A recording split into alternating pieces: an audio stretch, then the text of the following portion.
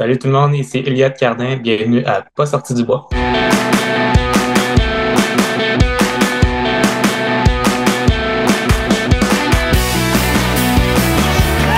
messieurs, votre gagnant du 110 Si tu commences à te sentir bien en courant un ultramarathon, fais-toi-en pas, ça va passer. Grand champion du 125 km. C'est la Minute NAC et aujourd'hui je vous parle des tout nouveaux gels Ultra Énergie qui viennent de débarquer sur le marché. L'offre de NAC était déjà variée mais là, avec l'ajout des gels, la gamme Ultra Énergie est la plus complète sur le marché. Avec ses 27 grammes de glucides naturels, ses 2 grammes de protéines, ses 235 mg de BCAA et ses 420 mg d'électrolytes, c'est le seul gel sur le marché qui est spécifiquement fait pour la longue distance. Puis veux-tu un autre argument? Chaque sachet est composé à 37% d'ingrédients recyclés. C'est bon pour te soutenir dans tes gros défis, c'est bon au goût, c'est bon pour la planète. Ça vient en deux saveurs, érable salé et chocolat, puis honnêtement, je suis incapable de dire lequel est mon préféré. La révolution NAC se poursuit, puis si t'as pas encore sauté dans le train, c'est le temps. Passe ta commande sur le NAC.com et utilise le code promo pas sorti du bois pour avoir 15% de rabais. P-A-S-S-O-R-T-I-D-U-B-O-I-S. Bon épisode tout le monde.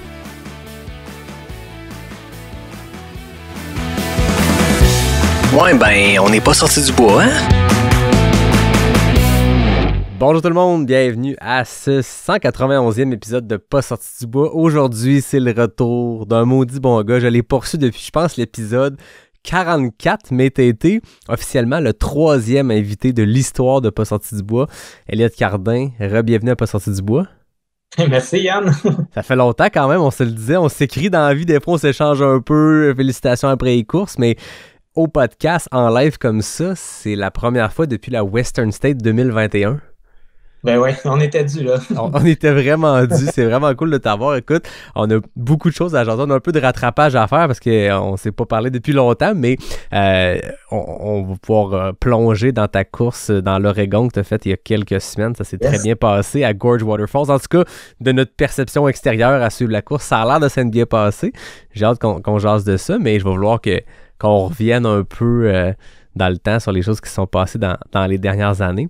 Avant qu'on parte, je pense que tu es la personne toute indiquée pour euh, te joindre à moi pour féliciter les gens qui ont participé en fin de semaine passée au Mute et à The Canyons. T'as jamais fait de Canyons, mais t'as couru sur ces sentiers-là pendant la Western State. Là, au moment où on se parle, on peut pas annoncer des résultats puis féliciter des, des Québécois qui ont bien fait parce que on enregistre avant. Mais au moment de la diffusion, euh, les gens vont être en train de, de décanter de ce gros week-end-là. Ça va être dur à suivre en fin de semaine. Mute d'un bar, euh, de Canyons, il y a l'Ultra Trail Mont Fuji où Courtney fait un gros, euh, va tenter une grosse performance au Japon. Euh, toi qui as fait et le Mute et couru sur les sentiers de, de Canyons, euh, c'est quoi ton meilleur souvenir du Mute pour le fun? Euh, le mute, c'est clairement juste d'être sur l'île euh, de Madère. C'est une île exceptionnelle. C'est des grosses montagnes qui partent direct de l'océan.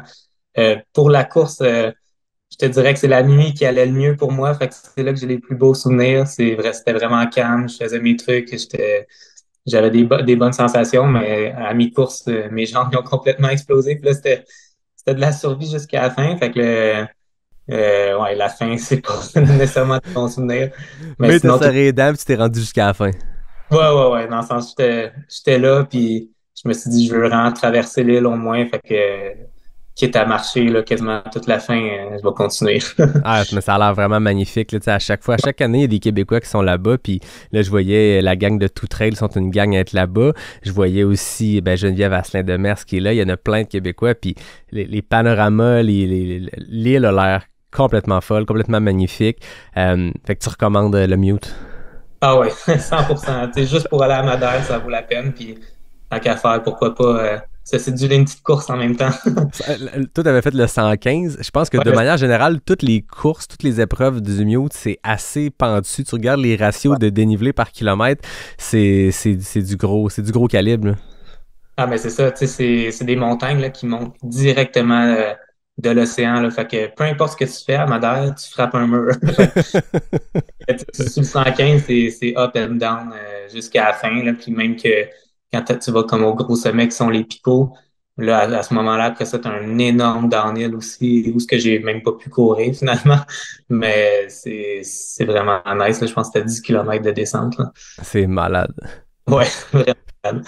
Parlant de, de, de 10 km de descente, mais peut-être un peu moins pentu, mais pas moins douloureux pour les jambes, tu t'es amusé sur les sentiers de la Western State. Tu as couru la Western en 2021. Et là, il y a plein de Québécois qui viennent de, de faire The Canyons, qui est sensiblement sur les, les mêmes parcours. Qu'est-ce que tu te rappelles de ces, de ces, de ces sentiers-là? Qu'est-ce que qu'est-ce que tant de ces sentiers-là, de la Western, de Canyons?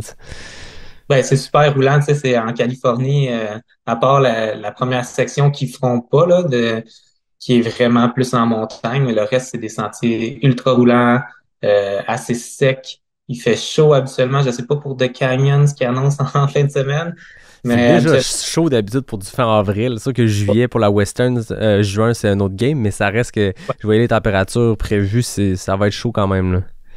Ouais, ouais, fait que, ce que je me souviens, c'est ça, que c'est c'est roulant. Faut que tu sois capable d'avoir des, des jambes euh, qui sont capables de rouler vraiment longtemps. Fait que j'espère que les gens se sont entraînés au moins euh, sur du roulant, malgré euh, la neige qui nous ralentit au Québec. C'est toujours un peu plus difficile de s'entraîner pour ça. Mais tu sais, moi, je me, je me souviens, je m'étais entraîné gros sur des chemins de terre, justement, me pratiquer, être sûr d'avoir des jambes là, qui, qui sont capables d'avoir un turnover jusqu'à la fin. Ouais. Ouais, c'est là que les, les courses de la témistrie euh, servent dans la préparation d'une course en début de saison comme ça, qui est quand même, c'est tôt, on s'entend avril, comme tu dis. Ouais. Tu sais, tu choisis une course en juin, tu mettons, moi je vois mes premiers gros objectifs s'en venir, tu fais, OK, tu sais, si- faut que tu sois prêt, puis une fois que le dégel est fait, puis qu'on peut accéder au sentier, il faut activer parce que t'as pas une longue fenêtre de préparation pour faire du technique, faire de la, de la montée euh, plus trail, tu sais, pas de la montée de centre de ski, mais ça reste que quand tu fais une course en avril, comme tous ces Québécois-là qui sont à Mute, euh, à Canyon, à Black Canyon en février, c'est que tu assumes que tu vas faire le gros de ton travail, puis il faut que tu piques pendant que c'est l'hiver, pendant que tu peux pogner de la slush, de la grêle. C'est pas du tout l'environnement dans lequel tu t'en vas. Toi, tu l'as fait quand même souvent, tu sais, aller faire des courses euh, hivernales ailleurs. Euh, c'est quoi que tu trouves qui est le plus gros challenge dans se préparer au Québec pour ces courses-là? De trouver des endroits où que tu peux faire l'intensité. Tu sais, faire ton millage, on s'en fout. À la limite, là, tu peux le faire un peu plus dans s'il y a de la neige, justement, si euh, les conditions sont glacées, tu, tu cours un peu moins vite, fait que c'est pas problématique. Mais la minute que tu veux faire ton intensité, là, faut que tu trouves euh, de l'asphalte, euh, ou sinon tu trouves un chemin de terre qui est pas tout glacé. Bon, sinon, euh, tu vas sur le tapis roulant. Moi, je suis Ouais. chanceux. J'aime faire du tapis roulant quand même. Ah oui, t'aimes ça? entre guillemets. Pour de l'intensité, ça me va, J'ai pas de difficulté. Je trouve que je suis facilement dans ma zone. C'est facile. Tu sais le, tapis roulant à la bonne intensité, puis t'as pas à t'ostiner avec toi-même. Tu essaies juste de keep up. J'aime quand même ça, mais ouais, je te dirais, sinon, euh, c'est d'aller sur le tapis roulant euh, la façon la, plus facile, mais souvent les souvent on aime être dehors, on aime être en trail, fait que euh, c'est sûr que c'est la partie moins le fun. Ouais. Alors, on s'est écarté sur le sujet, mais tout ça était pour euh, souhaiter. Ben, là, on peut leur souhaiter une bonne course, mais au moment que ça va être diffusé, pour féliciter tous ces gens-là qui ont pris le départ. hein. on dit souvent féliciter ceux qui ont fini, mais non, félicitons tout le monde parce que euh, se préparer en hiver pour ces défis-là, euh, de se pointer sur la ligne de départ, c'est la, c'est la- c'est ça l'accomplissement. Après ça, ce qui se passe le jour J de la course, tu peux en parler, hein, ça arrive pas tout, ça va pas toujours comme on veut. Des fois ça va bien, des fois ça va pas bien. Mais, euh, mais c'est toujours le fun de voir euh, les Québécois. Puis on est comme dans la période de l'année où il y en a beaucoup. On dirait qu'à chaque fin de semaine, t'es comme OK, là, faut que je suis un tel, un tel, un tel qui est à Madère, puis un tel. C'est vraiment trippant d'avoir ces, ces gens-là qui, euh, qui voyagent pour courir. On voyage un peu à travers eux aussi, mais de les voir performer, de voir s'amuser, c'est toujours trippant. Donc, en tout cas, félicitations à tout le monde qui était à Madère, euh, à The Canyon. Il y en a peut-être qui étaient même au Japon pour le mont Fuji. Euh, donc voilà, c'est fait. Elliot, ça fait longtemps Yep. qu'on s'est parlé. Je le disais en introduction, depuis l'épisode 44, on est rendu à 191. Euh, la première question, dans les 3-4 dernières années, on sait pas, de- depuis qu'on s'est parlé, disons, depuis la Western, c'était quoi? Je te lance sur une grosse question philosophique, là, ça, part, ça part fort, fais attention. Ça a été quoi ton plus grand apprentissage sur la pratique de notre sport? Peu importe quoi, peu importe euh, si, c'est en entraînement, en nutrition, en, préparation mentale, en acclimatation, été quoi ton, euh, ton apprentissage? Hey boy, j'avoue que ça me... Euh, je te dirais, ben surtout dernièrement, je l'ai plus réalisé, c'est de se fier gros à son intuition quand même. On, a tendance, en tout cas, je parle pour moi, à analyser gros des, euh, des data, sinon de, de vouloir tout contrôler au niveau de la nutrition. Puis je pense que justement, ce qui m'a permis d'avoir une bonne course justement à, à Gauge Waterfall, c'est de c'est de pas hésiter à quand j'ai un feeling que ah là je devrais switcher mettons ma nutrition ou je devrais ralentir ou je devrais euh, pousser le pace de vraiment me connecter à ces feelings là et non ce que ma montre va me dire ou sinon euh, ce que je devrais prendre euh, comme gramme de carb alors oui c'est important. Je pense que c'est vraiment important d'avoir comme un plan de match puis que le plan de match soit super bien détaillé mais lors de la course lors de l'exécution je pense que c'est très bon de de finalement euh, garder le plan, mais de, de laisser place euh, au changement selon les feelings, selon ce qui va se passer réellement dans la course, parce que des fois, c'est une toute autre chose, la réalité euh, durant la course. Hein. Ouais, on dit c'est mettre beaucoup de pression sur une seule journée, alors que à l'entraînement de semaine en semaine, on a des journées plus tough, puis tu te dis, voyons, qu'est-ce qui se passe aujourd'hui? Ah, c'est pas grave, ça, cet entraînement-là, je le prendrai plus off ou peu importe. Mais rendu le jour de la course, c'est beaucoup de pression de se dire, c'est aujourd'hui que tout, faut tout doit rentrer dans les cases, tout doit passer smooth, il faut que ça soit parfait. Ça arrive rarement, mais je trouve ça intéressant ce que tu dis parce que oui, il faut se préparer, mais faut faut improviser. Des fois, un plan, tu, ça te sécurise d'avoir un plan clair, mais après ça, il faut que tu sois agile dans ton plan, puis tu peux te promener. Puis je me rappelle, l'année passée, j'étais au QMT, je pense, dans le sentier des Caps, je courais avec un, un gars, c'est sa première longue distance, euh, son premier 80, puis on jasait, puis à un moment donné, je me rappelle, il check sa montre, puis comme, il dit, je suis supposé être en train de manger, là, mais j'ai pas faim, puis tout, mais, mais je suis supposé être en train de manger, fallait que je mange là, puis tu sais, je me rappelle y avoir dit c'est pas grave. Tu sais, si, si en ce moment t'as pas le goût de manger puis ça te lève le cœur, faut pas que tu laisses ça aller puis pendant 4 heures tu manges pas. Mais si là, à l'instant où ta montre fait bip bip, tu manges pas, c'est pas grave, ça va bien aller. Laisse-toi le temps d'avoir faim un peu plus tard ou mange autre chose. ou tu faut savoir s'adapter. Ah ouais, clairement. c'est pas justement un gel qui va faire toute la différence euh, durant ta course. Il faut, faut, que tu fasses confiance à ton corps. Il est tellement, il est tellement fort. Puis c'est ça, je réalise en training, tu fais tous tes entraînements, puis tu te dis, oh boy, genre, tu, tu pratiques ton race pace, tu es comme, hey, ça, ça va être tough, mais ce pace-là, sur tant de kilomètres, avec tant de plus. Des fois, tu as l'impression qu'en training, c'est comme quasiment infaisable, puis que ça le fera pas. puis finalement, il faut jamais sous-estimer le, le, en fait, le, le, mental, comment il devient fort quand tu mets un dossard. C'est fou quand tu, tu, euh, tu changes totalement de mindset. Là. C'est, t'es plus à l'entraînement, puis il y a de quoi de spécial qui se passe, puis c'est là que tu es capable de justement réaliser euh, de quoi d'extraordinaire. Fait que faut pas oublier ça, qu'il y a cet effet-là euh, durant une course. Puis il faut pas se laisser euh, avoir là, par les feelings non plus qu'on a à l'entraînement. Faut juste faire confiance à tout le processus. Hein. Ouais, c'est ça. Puis des fois, c'est dur de faire confiance au processus. Toi, euh, t'as as eu un changement de, de coach dans les dernières années. Euh, ça fait un petit bout, je pense que tu es avec Ray Zahab que j'ai reçu à maintes reprises au podcast.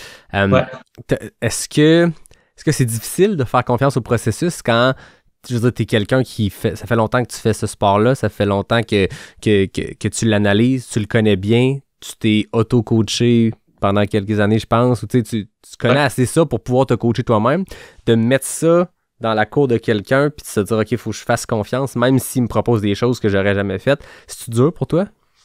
Ah ouais, c'est quand même dur, mais je pense que c'est autant dur justement que d'avoir ça dans ta cour à toi, parce que quand c'est dans ta cour à toi, tu, tournes en rond aussi. C'est le fun des, des fois avoir quelqu'un qui tranche, puis que, OK, c'est ça qu'il faut que je fasse, c'est ça que je vais le faire.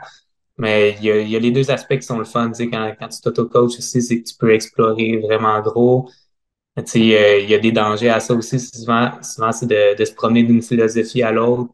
Si tu veux vraiment voir l'effet d'un entraînement, souvent, c'est de rester c'est au minimum quasiment un an avec la même philosophie pour valider, voir finalement si ça fonctionne. Parce que si tu essaies une technique pendant juste un mois de temps, mais tu n'as même pas le temps de voir les adaptations. Puis là, tu peux sauter à la conclusion, ben, ça marche pas pour moi, mais c'est juste finalement parce que tu l'as pas fait assez longtemps. Ou au contraire, euh, tu penses que ça marche, puis là, au fil du temps, après euh, plusieurs euh, blocs d'entraînement, c'est là que tu réalises que tu cumules soit des blessures ou, tu tombes toujours malade, puis c'est là que tu réalises des trucs. Fait que non, je te dirais que c'est challengeant des deux bords. Ça, c'est ça.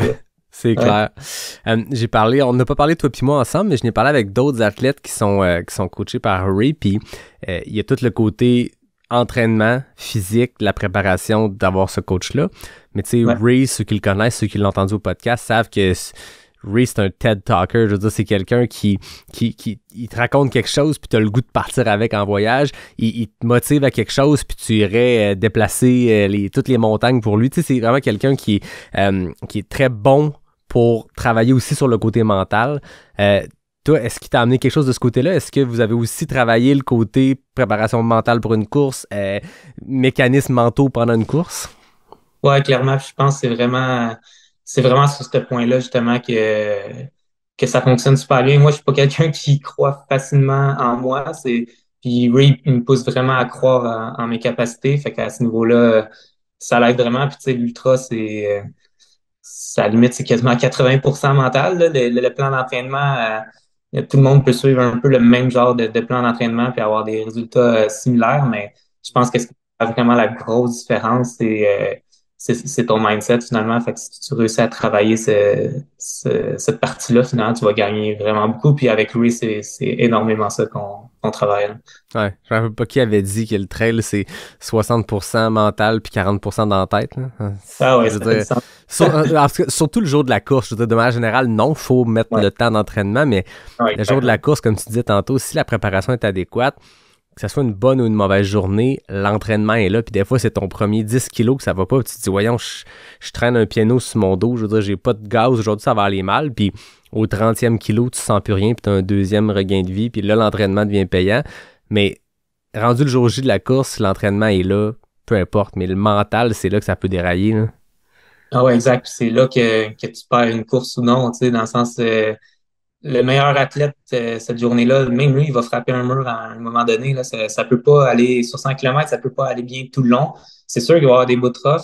Je pense que justement, considérant ça, on va tout avoir un, un- une rough patch, comme on dit. Puis ça va être celui-là qui va être capable de traverser euh, cette rough patch-là en ayant le meilleur mindset puis en restant le plus positif possible. Comme ça, il se laissera pas affecter par ça.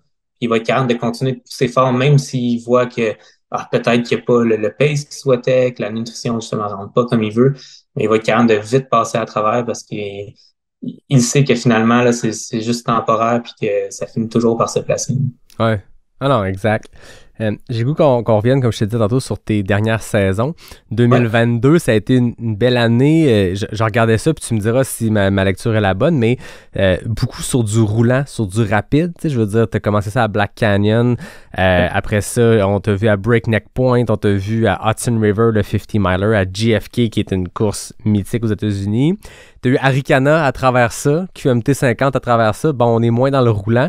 On se rappelle de ton arrivée après ta victoire sur le 125 Arikana où euh, j'étais là et je me rappelle, on a des vidéos, des audios de toi qui dit qu'il n'y en ait plus un maudit qui me dise que c'est roulant Arikana. Euh, mais c'était une Ouais. année où, tu sais ça, on était sur ces distances-là euh, et sur du, du plus roulant. 2023, on t'a vu explorer du plus long en termes de distance, du plus technique. Euh, Revenons sur 2022. Est-ce que tu te rappelles un peu c'était quoi le plan de match pour cette année-là euh, en commençant Black Canyon puis, puis ce qui a suivi? Euh, ouais, ben Black Canyon, c'est toujours la course que j'aime aller faire en hiver, peu importe euh, le type de saison que je vais avoir. Je trouve qu'elle est loin d'un peu toutes les, les autres courses. Puis euh, c'est pour ça que j'aime ça la mettre, euh, la mettre au programme finalement. Puis euh, ouais, après ça, c'était surtout à Arikana le, le but. Puis je pense que j'ai cette saison-là, j'avais rien de planifié précisément. Puis j'ai juste dit oui à plein d'opportunités qui se sont présentées. Puis euh, j'avais comme JFK aussi dans la mire, fait que ça allait expliquer un peu toutes les autres courses roulantes aussi avant, qui étaient plus une préparation pour JFK, mais ça a été vraiment ambitieux, euh, de, de faire Arikana, qui est justement une course euh, plus en montagne, très technique, est pas roulante. Puis après ça, tout de suite transitionner avec euh, Hudson River pour tranquillement aller sur rendu rapide comme JFK.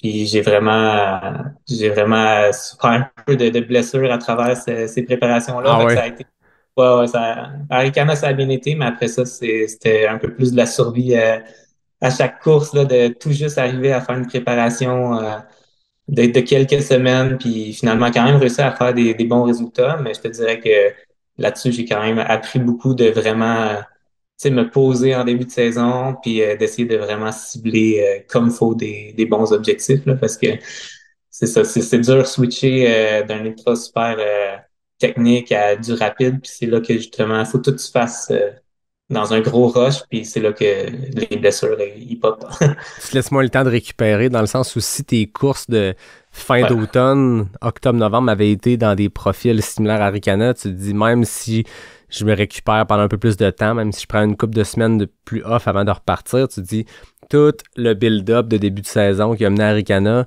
va te servir, tandis que là, je comprends que tu finis à Ricana, puis là, faut que tu embarques vite dans une préparation quasiment, je veux pas dire marathon, mais tu sais, euh, je sais pas, si, tu veux, décrire un peu euh, JFK, qui est le plus vieil ultramarathon aux, États-Unis, puis je pense au monde, qui, roule encore depuis les années 60 que c'est là.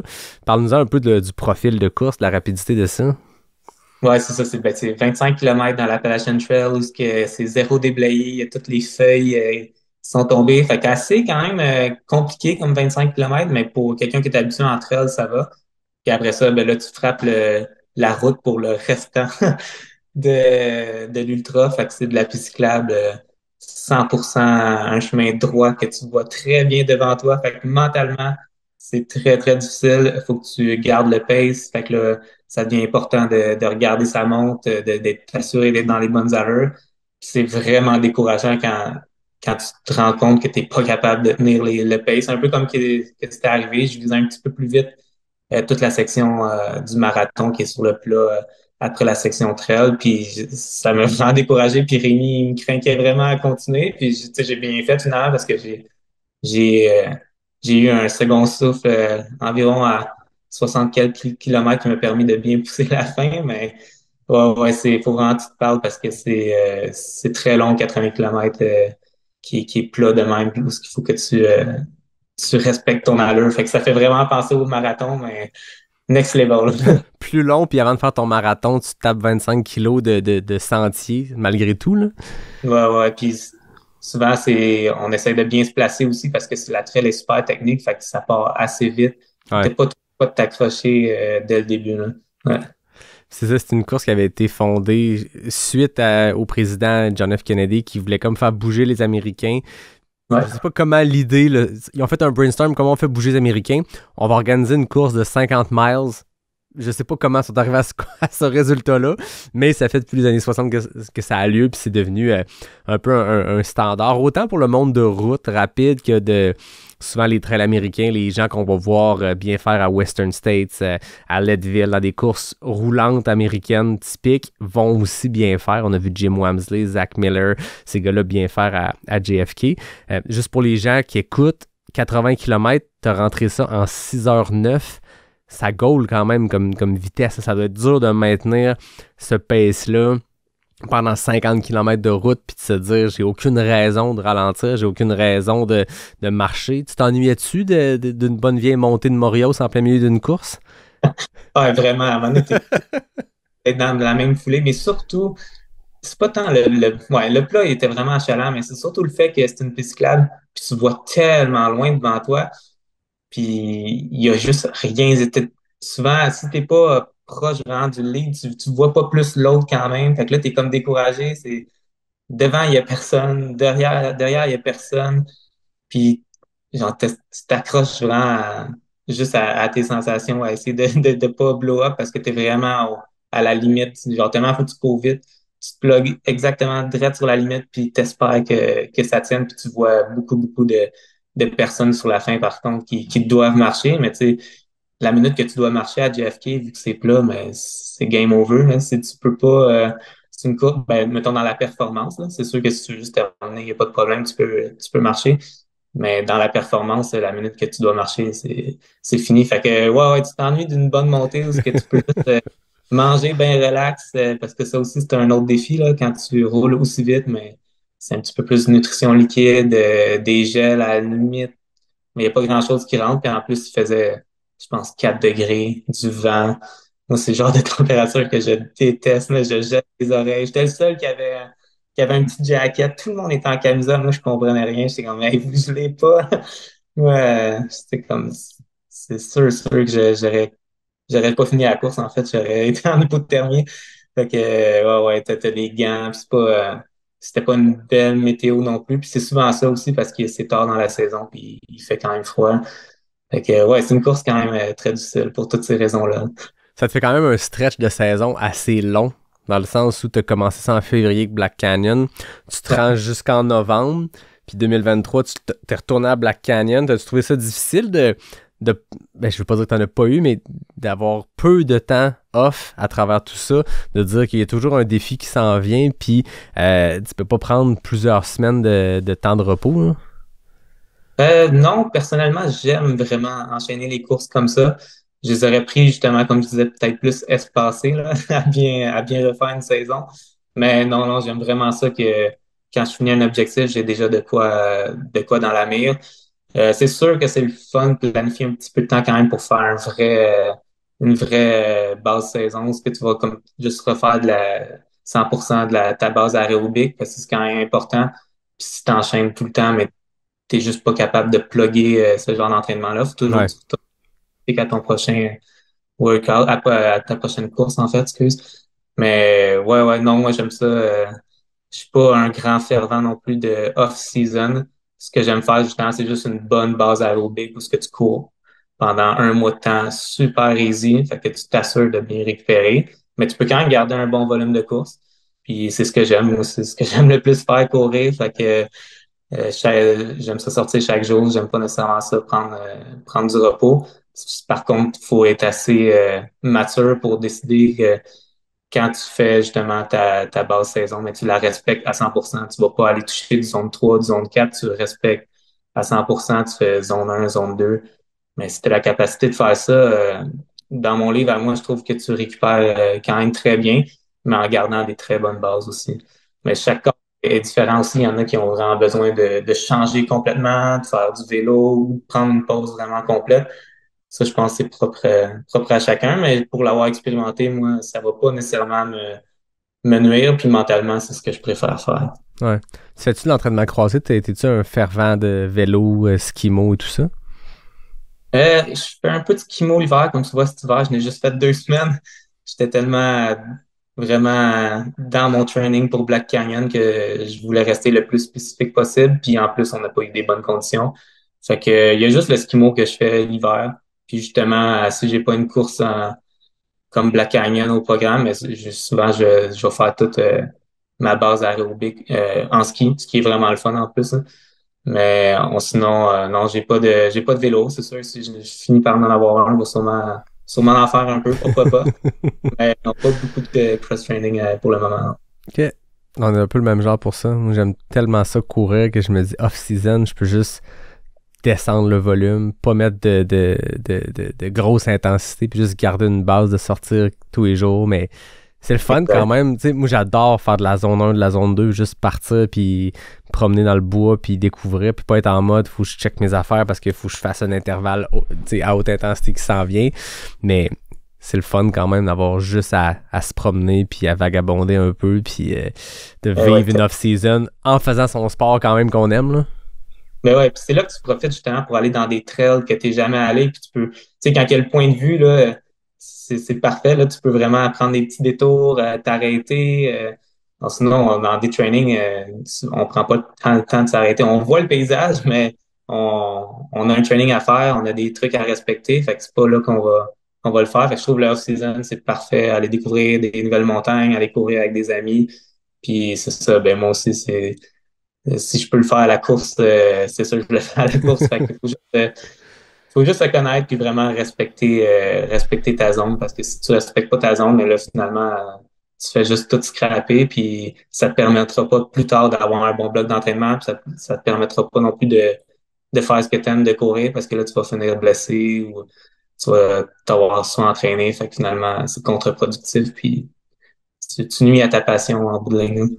Ouais, exact, exactement. Um, puis dans ta vie professionnelle, tu sais, je sais que les dernières fois qu'on s'était parlé au podcast, tu étais en naturopathie, mais là, ceux qui te suivent sur les médias sociaux ont te vu faire de la brique en masse. Qu'est-ce que tu fais euh, dans la vie? Ouais, ben en fait, j'ai mis de côté un peu euh, mes études en naturopathie. Je me voyais pas pratiquer vraiment en, bureau. Fait que je suis retourné euh, aider mon frère dans sa compagnie en maçonnerie. Puis euh, j'ai acheté une maison euh, au pied de la montagne à Shefford. Fait que c'était pour ça que je donnais un petit coup à ramasser de l'argent. Puis euh, cet hiver, là, justement, j'ai cherché un autre emploi. Puis là, je vais commencer à, à un autre emploi qui va être pas mal plus relax euh, à la ville de, de Coansville où ce que je vais être dehors aussi toute la, toute la journée. Fait que ça, c'est ce que j'aime. C'est c'est là que le temps passe vite. Mais au moins, ça va être pas mal moins physique que, que la construction. Là. Fait que ça, ça va être bon euh, pour être capable de, de bien m'entraîner. Ouais. J'avoue que ça doit être un bon défi dans le sens où euh, tu t'entraînes puis tu performes à un niveau. euh, on, on a déjà parlé. euh, pas, pas devant le micro, mais tu t'entraînes à un niveau professionnel dans le sens où tu Ouais. performes, tu, tu remportes des courses, tu fais des podiums aux États-Unis, tu compétitionnes contre des athlètes qui parfois, surtout à Black Canyon, tu compétitionnes contre des gars, des filles qui font ça de leur vie. Leur job entre les entraînements, c'est de récupérer. C'est peut-être de, de, de, ont des petites affaires sur le site, mais qui ont des, des sponsors qui financent. Euh, ça doit être difficile quand même de, de, de t'entraîner fort, de, de, de vouloir atteindre ce niveau-là, d'être ambitieux dans, dans, dans ce que tu vas atteindre, mais de devoir faire des chiffres, sa construction, qui sont des jobs, j'ai jamais fait ça de ma vie, être maçon, mais ça semble extrêmement physique. Tu passes ta journée debout à, à charrier des briques, à, à- je veux dire, à- t'es t'es continuellement sur tes, sur tes jambes. Ça doit être Ouais. quand même un défi de concilier tout ça. Ouais, c'est super difficile. J'ai la chance pour moi en, maçonnerie, mais c'est saisonnier. Fait que euh, on travaille environ jusqu'en décembre, puis on reprend habituellement début mars. Fait que j'ai le chômage un, un peu l'hiver, ce qui me permet de bien me préparer aussi pour Black Canyon. Puis là, je peux un peu plus m'entraîner comme un professionnel à ce moment-là. Mais on, sinon, ouais, effectivement, la, saison euh, estivale, c'est vraiment compliqué pour moi. J'essaie de quand même de rentrer un bon volume, des bons entraînements, mais quand tu as passé une grosse journée, il fait 30 degrés justement à charrier de la brique, monter des échafauds. euh, c'est vraiment pas facile. Puis en plus, avec mon frère, c'est une petite compagnie. Fait que c'est pas mal moi qui manœuvre. euh, fait que c'était vraiment c'était vraiment des grosses journées. Fait que j'essaie de le rentrer aussi, je le compte comme euh, comme du temps d'entraînement, mais c'est juste que c'est pas spécifique vu que c'est c'est pas mal plus le haut du corps justement que que les jambes qui vont travailler.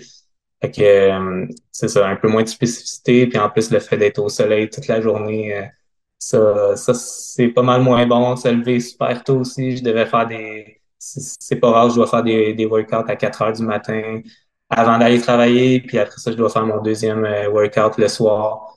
Puis là, t'arrives, tu manges, euh, tu refais ton lunch, puis c'est pas mal ça là. Ouais, c'est ça, c'est une routine qui embarque. Puis, Ouais. en même temps, j'avoue que tu peux le compter quasiment comme du temps sur les jambes, comme de l'entraînement, parce que c'est extrêmement physique, mais c'est moins dans le spécifique. Là, tu sais, charrier des briques, ça, ça te prépare un peu le haut du corps pour euh, l'utilisation des bâtons, peut-être, mais je veux dire, c'est pas du spécifique. Là. Attends. Pardon? Pour le peu de race que j'ai fait avec Oui, des bâtons. ça. Mute, c'est la Mute TDS, c'est les deux seuls que j'ai utilisé des bâtons. Ben, ça, j'allais dire 2023. Après avoir un 2022, on, on en a parlé, bon, Arikana et des courses euh, rapides. Là, en Ouais. 2023, tu as commencé ça avec Black Canyon, puis après ça, tu t'es embarqué sur des nouvelles distances du plus long que tu n'avais jamais fait, puis du ultra technique. Je tiens à dire, je, je checkais les stats, euh, vous le savez, ceux qui écoutent le podcast, j'aime bien les stats. Ton- Ta huitième place à Black Canyon en, en 2023, c'est exceptionnel comme, position, mais le chrono est plus rapide que ta troisième place qui t'avait donné un golden ticket pour la Western State.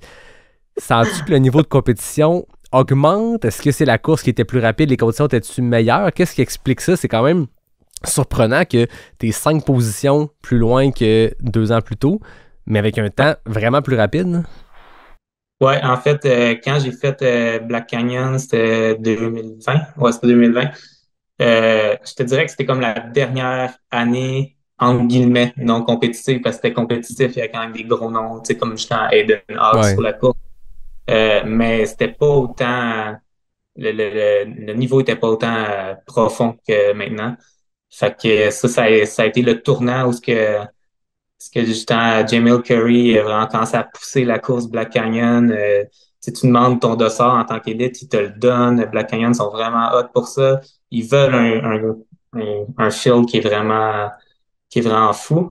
Puis ça l'a paru toutes les autres années, euh, on était toujours comme une vingtaine d'athlètes que, qui peuvent facilement aller chercher la victoire. Fait que là, on est comme une vingtaine, maintenant, voire même une quarantaine qui, qui peuvent toutes euh, espérer un podium. Fait que ça s'en vient très, très relevé. Je pense qu'il avait sorti les stats justement pour comparer un peu à euh, Black Canyon à la Western State, puis c'était quasiment équivalent c'est rendu, en, en, tout cas, c'est clairement le 100 km le plus compétitif en Amérique. Donc, euh, oui, je te dirais que le niveau en trois ans, à trois, quatre ans, il a, il a, il a vraiment augmenté. C'est ça. Si tu veux euh, keep up, il faut vraiment que tu, euh, tu fasses tous les petits trucs. Tu peux pas rien négliger maintenant. C'est fait c'est ça qui est tough. C'est pour ça que justement, qu'un nouvel emploi qui va me permettre un peu de mieux m'entraîner, j'espère que je vais être capable de continuer de, de keep up avec les meilleurs parce que c'est c'est mon but ultime, moi, vivre de, de ce sport-là, qui, qui est vraiment pas facile, par contre. Mm-hmm. Mais Mais plus comme un, un semi-pro juste parce que, justement, j'ai pas de, de, salaire avec la course, mais je compétitionne, justement, comme tu disais, au niveau professionnel. Mais j'aimerais ça éventuellement être capable de dire que je suis professionnel puis que ça me permet euh, au moins d'avoir un petit revenu puis que je puisse travailler euh, peut-être un peu moins, ça me permet justement de mieux euh, m'investir dans, dans, la course à pied. Mais pour l'instant, c'est c'est quand même toujours un challenge. J'ai la chance au moins d'avoir plein de sponsors qui me supportent, puis au moins euh, de pouvoir voyager, puis de chaque année euh, tenter ma chance. Mais ouais, peut-être un jour. Mais on, on, le voit aux États-Unis, il y a vraiment un mouvement en ce moment qui se passe depuis trois ou quatre ans. Euh, j'ai l'impression que c'est comme la génération, euh, je sais pas comment dire, la, génération Jim Wamsley, là, des athlètes universitaires de, de track de, de 5000 mètres, de 10 000 mètres, qui, une fois qu'ils terminent leur carrière dans la NCAA, se mettent à faire de la course, de, de la course en sentier, l'ultra. À la limite, c'est aussi la recette Marianne Hogan. Marianne, c'est exactement ça. Elle a compétitionné en NCAA pour l'Université de San Diego. Puis il y en a plein d'athlètes comme ça. Puis en ce moment, c'est une explosion. Tu vois les, les start lists des courses qui sont euh, typiquement roulantes, qui sont typiquement des courses qualificatives ou Golden Ticket pour la Western State. Il y a tout un réseau qui se crée autour de ces courses-là. Puis même à Bandera, même à d'autres courses qui sont aussi qualificatives pour la Western, le niveau a relevé. Puis Black Canyon, on dirait que le profil, peut-être tu pourras me le dire, mais je ne l'ai pas fait, mais c'est un profil qui ressemble beaucoup à la, à la Western sur certains points. Puis c'est ouais, là qu'on dirait que tout le monde converge. Puis tu as des, des, start lists avec 30 hommes, 30 femmes qui peuvent tous gagner, puis ça serait pas surprenant. Puis t'as une jeune génération qui, qui, qui, progresse hyper rapidement, des athlètes de 23, 24, 25 ans, ils sortent de l'université, ils sortent de, de, des années de fitness pour du 5000, 10 000 mètres piste, puis qui arrivent, puis qui performent vraiment très bien dans la transition vers du 50 km, du 50 miles. Puis c'est drôle, comme observateur du sport, on voit que la transition aux 100 000 est plus tough on les voit arriver sur JFK, on les voit arriver sur Black Canyon, du 50, 80, 100 km. On dirait que la transition se fait vite. Ils ramassent des golden tickets. C'est souvent, je ne veux pas généraliser, mais c'est souvent des athlètes qu'on va voir exploser à leur première tentative sur 100 000. Puis c'est normal, c'est un 100 000, c'est un autre ball game. Mais la transition, on dirait qu'il y a une rupture à cet endroit-là, mais c'est le fun de voir cette compétition-là augmenter, ce nombre d'athlètes-là augmenter, puis je pense que les marques, de plus en plus, tentent de professionnaliser le sport. Il y a des séries qui tentent de professionnaliser le sport, puis c'est le souhait qu'on qu a, c'est que des gens qui ont le souhait comme toi de vivre de ça, qu'à un moment donné, le sport soit rendu assez mûr pour être capable de supporter des athlètes, non? Ouais, ouais, je le souhaite. Puis, ouais, tu l'as vraiment bien dit, en fait, Yann, c'est je pense 100 km, c'est le, comme le trigger point où ce que, tu sais, à un moment fitness is fitness. C'est justement, c'est pour ça a des gens de, de track euh, qui ont un background de vitesse, sont capables de bien faire jusqu'à 100 km. Mais après ça, euh, tu tombes vraiment dans un autre game où ce que c'est, euh, c'est gros la nutrition qui va rentrer en jeu, la spécificité, l'aspect mental aussi. Puis ça, tu vas pas nécessairement l'avoir travaillé avec juste une base de, de vitesse. Mais ouais, ouais clairement, on va le voir de plus en plus euh, des coureurs ultra rapides parce que c'est un peu une base à avoir aussi maintenant, être capable d'être rapide. Faut pas juste être endurant. Fait que ça, c'est le fun pour des athlètes comme eux qui ont, qui ont travaillé toute leur jeunesse de la vitesse et là, ils ont juste à transposer sur de l'endurance.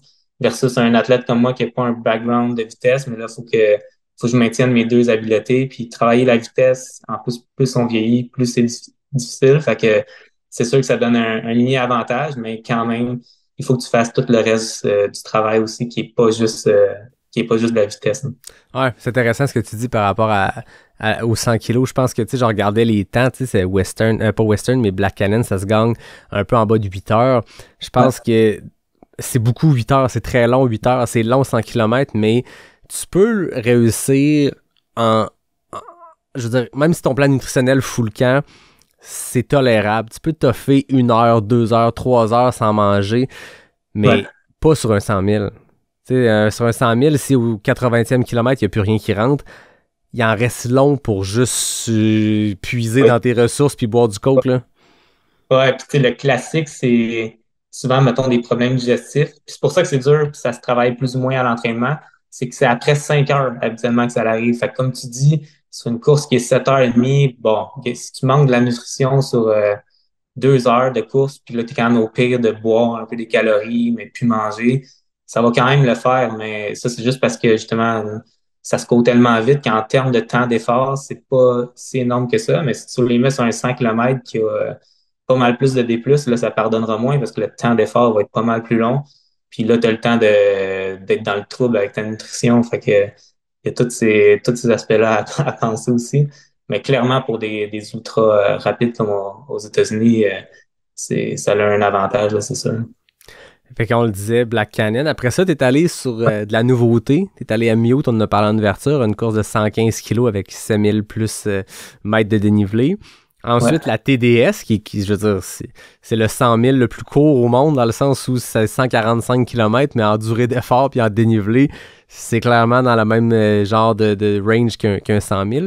Comment Ouais. ce chouette course-là s'est présenté euh, dans, ton, dans ton calendrier? Eh boy, on dirait, j'essaie de me souvenir pourquoi j'avais décidé ces courses-là. Euh, clairement, Mute, ça, je m'en souviens, c'est après Black Canyon, après une belle perfo. J'ai comme, ah, j'ai le goût de, de continuer sur une lancée un peu plus à l'international. Puis là, j'avais regardé sur le calendrier, qu'est-ce qu'il y a? Il y avait Mute, je suis comme, parfait, j'ai, réussi à avoir mon dessert.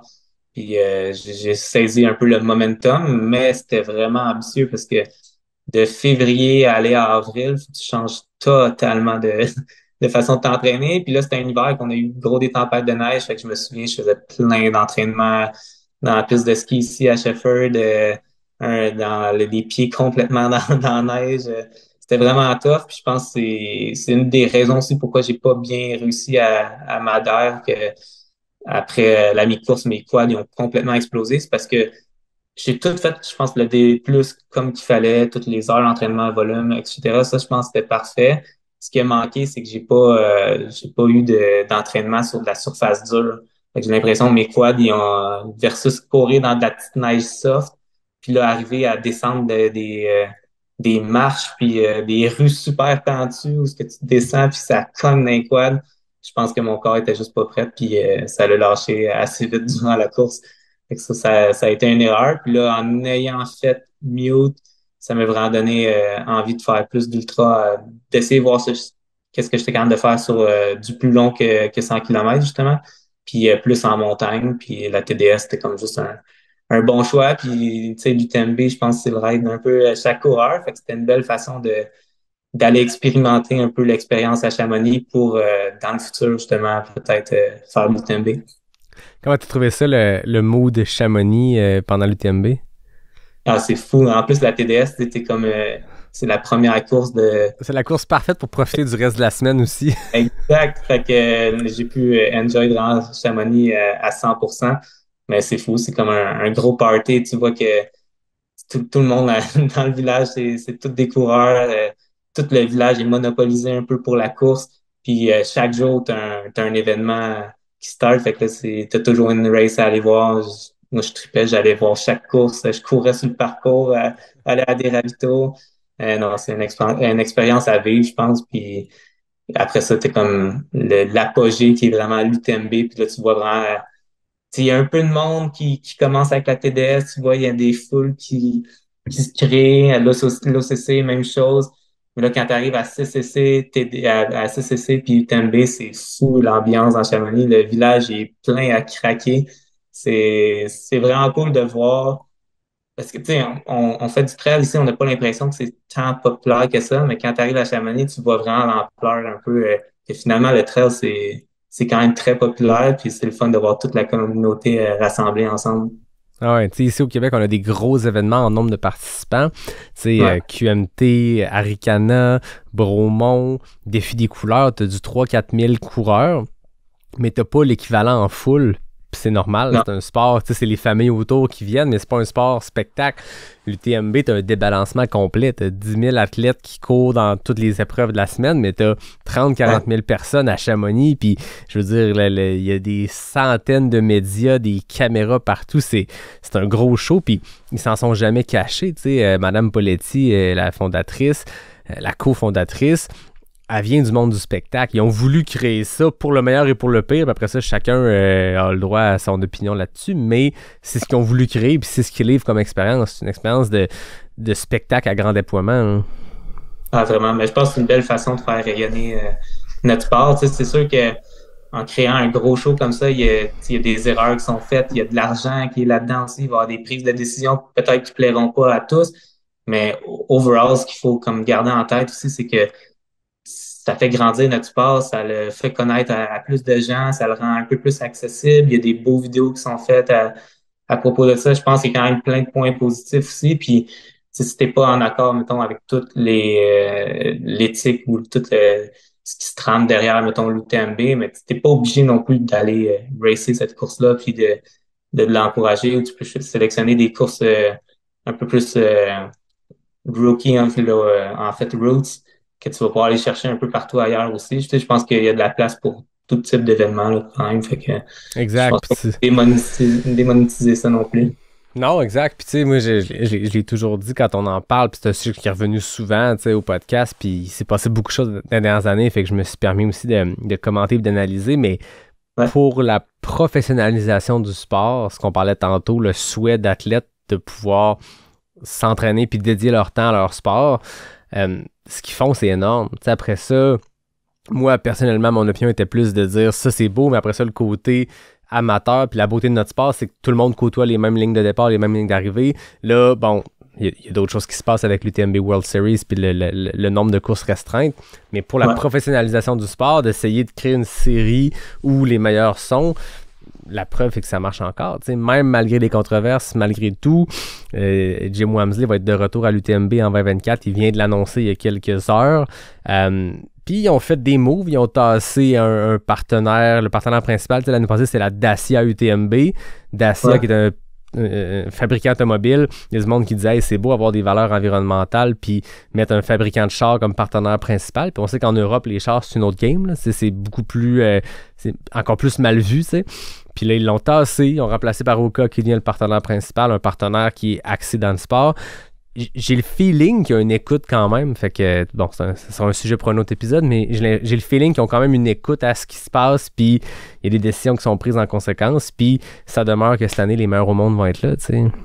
Non, clairement, c'est comme faut embarquer justement dans, dans le jeu. faut montrer un peu la direction qu'on veut que l'UTMB prenne. On veut, faut pas comme nécessairement juste la boycotter. Faut, faut montrer justement quel type d'UTMB on veut dans le futur. Puis eux, ils veulent faire un show, fait qu'ils vont suivre, euh, ils vont suivre la tendance un peu. Fait que c'est un peu notre façon de, de voter euh, en exprimant ce qu'on veut, euh, la, la, la vision long terme qu'on veut que ça aille. faut juste le manifester, mais faut pas nécessairement juste boycotter puis plus rien, rien, rien vouloir suivre de l'UTMB. Euh, faut juste en discuter. Ouais, exact. Puis je pense que c'est ça l'approche de la Pro Trail Runner Association, qui est le- l'espèce de syndicat organisé qui, qui, qui est parti de Kylian et d'autres. Je n'avais parlé avec Mathieu Blanchard quand il est devenu au podcast. Ils, ils mettent exactement la pression qu'ils doivent mettre, puis qu'ils veulent mettre, puis de la bonne façon, de manière constructive. Tu sais, Ils l'ont dit. Ils ont appelé, ils ont pas appelé un boycott, ils ont appelé à, remettre en question l'UTMB dans sa manière que ça se présentait pour 2024. Ils ont, euh, ils ont, ils ont- ils ont appelé à, aller essayer le World Trail Majors, à d'autres choses, mais ils ont eu plein de discussions, ça a été dit, ça a été communiqué. Ils sont assis, la Pro Trail Runner Association, avec la famille Poletti qui a fondé l'UTMB, puis ils ont eu des dialogues après ça. Est-ce que ce qui se passe en ce moment, c'est une réaction directe? Peut-être, mais comme tu dis, c'est ça notre pouvoir. Tu sais, le, le client a toujours raison. C'est ça qu'on entend depuis toujours. Ça reste Ouais. que c'est ça. Si, si ce qu'il propose plaît pas au monde, ça va se sentir rapidement dans le nombre d'inscriptions. tu sais. Ouais, ouais, tout à fait. Qu'est-ce qui a fait que tu as choisi Grindstone en fin de saison comme ça? C'est drôle, on a failli se croiser. Nous, on partait avec le petit. euh.